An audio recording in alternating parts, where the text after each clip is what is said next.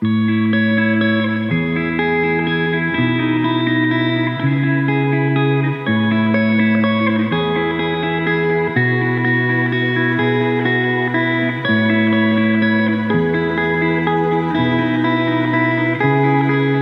poverty uh, affects one in five people on the planet. When the sun sets, they literally have no light or no cooking or, or no power whatsoever.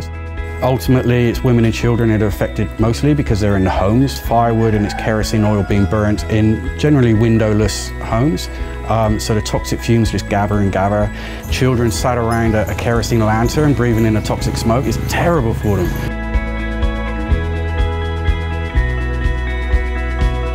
certain energy poverty that we, we're talking about kills on average 4.3 million people a year around the world, more than malaria and HIV combined predominantly in Southeast Asia, India and Africa. So a very simple solar light can literally change their lives.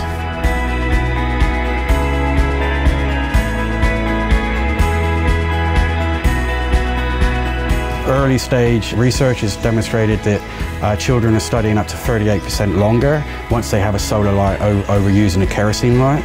So they're, they're studying longer, they're retaining the information better, their lungs are healthier, their eyes are, are better. The average spend on, on firewood or kerosene for a family that lives in the energy poverty space that we work in is between 25 and 40% of their income.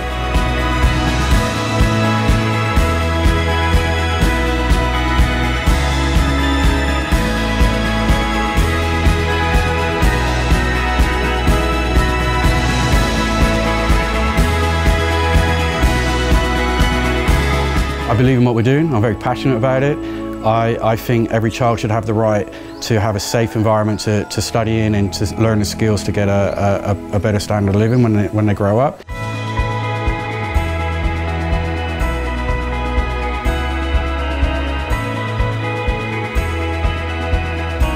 We recently rolled out the Corporate Social Responsibility Program. Big corporations get together and hold conferences and all their customers can sit down and make a light, but they also learn about the issue as well and be part of the, the, the distribution.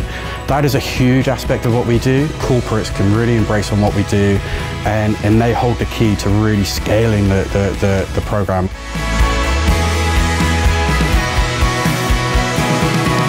So we're here today in uh, central Madagascar. We've just distributed FCM Travel Solution solar lights to all these children and as you can tell they're really happy. I just want to say a really, really big thank you on behalf of the children here. This is the start of a bigger program. We hope to come back later this year, if not early next year. It's really easy for you to get involved and you can make a huge difference.